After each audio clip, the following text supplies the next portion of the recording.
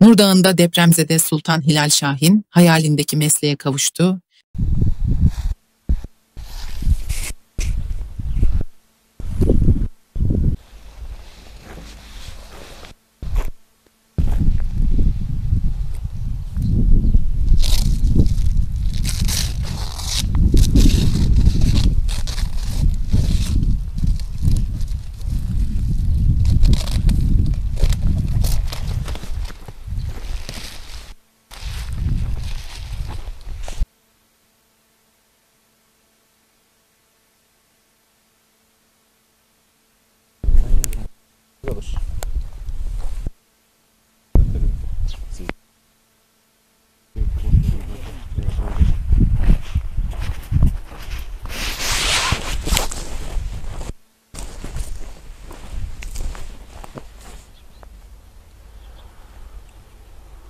Benim annem babam zaten 1970'ten beri bu işin içindeler.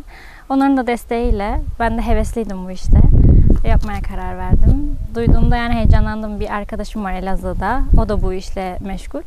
Onun başarılarını gördükçe seviniyordum. Böyle bir desteği duyunca hemen başvurdum. Nerede? Gübre alanında bir abimiz vardı. O bana dedi sen bu işi yaparsın dedi. Öylelikle ben de başvurdum. Aradıklarına da çok sevindim. Ee, Ee, Yani çok güzel. Gerçekten ee, bazen imkanlar el vermiyor bazı şeyleri yapmaya. Ee, fikirler oluyor ama icraate geçirmeye bazen ee, imkanlar dairesinde el vermiyor. Bu yüzden gerçekten çok mutluyum bu desteği alabildiğim için. Büyükşehir adına da yani çok teşekkür ediyorum buradan. Ben şöyle mobilya bölümü benim için 4 yıllığa geçiş orman mühendisliği düşünüyorum hı hı. nasip olursa. Yani ben doğayı çok seviyorum. Ağaçları çok seviyorum. Yani ağaç doktoru olmak istiyorum. Orman mühendisliği. Yani birleştirmeyi düşünüyorum bölümümle okuyarak. Yani bir arada götürmeyi. Hem eee, yani her meyveden, her ağaçtan anlamayı istiyorum. Gerçekten hevesliyim bu konuda. Böyle ilerletmeyi düşünüyorum. Bizim gibi genç çiftçilere, eee, çiftçilerimize de destek verdiğinden dolayı Büyükşehir'e çok teşekkür ederiz. Çilek yapmak için e, yapmıştık. Sonra bir e, to- ödül törenimiz vardı. Ödülümü Kahramanmaraş Adım Adım Anadolu e, iş imkanı vardı. Orada Fatma Şahin vermişti benim ödülümü.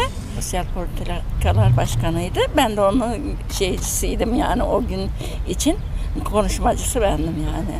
Depremden Girişimci bayan olduğum için. Giriş- Ee, hayatımızda e, bayanların güzel yani orada iş imkanı sunu- sununca o toplantıdan sonra başka bayanların da e, iş alanında çalıştıklarını, iş yeri açtıklarını gördüm yani.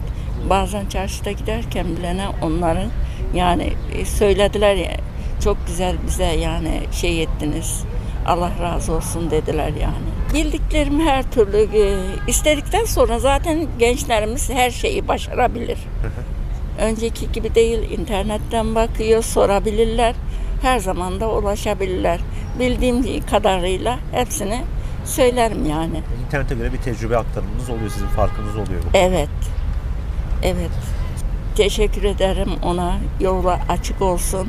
Takip ediyorum her zaman. Çiftçilerin güzel yani neye ihtiyacı olduğunu çok iyi biliyor. Bugün de su kanal şeyini gördüm orada e, internetten.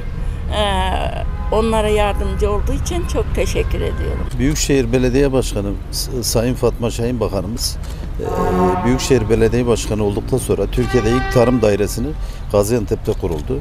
O günden bugüne çiftçilerimize farklı konularda çok çeşitli ciddi destekleri var. Mazot desteği, gübre desteği, ilaç desteği, tohum desteği, Evet. arıcılık desteği. E, örneğin sadece bugün ilçemiz 271 mililitre mazot alıyor. Yani 1350 ton gübre alıyor, 800 ton tohum alıyor.